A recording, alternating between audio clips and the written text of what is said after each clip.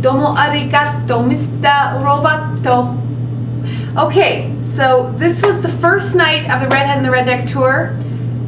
We were seated. It was a little teeny stage in this little community, um, and we. I really, really, really, really couldn't stay still. So I got up and I got into the crowd. It was a very, very small seated crowd, very intimate setting, and I really wanted people to get moving because I could, I could see people tapping their toes and like moving their bodies. I wanted them to get up. So this is a moment during 9 to 5 where, what can I say? I needed to get on my feet and boogie. Boogie, boogie, boogie. See you at the show. Woo, woo, woo. Going somewhere? It's gonna require some movement here.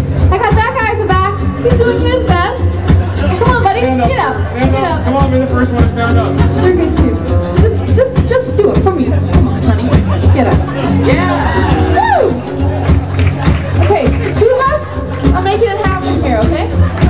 And you're all in the middle. You're all in a safe zone, okay?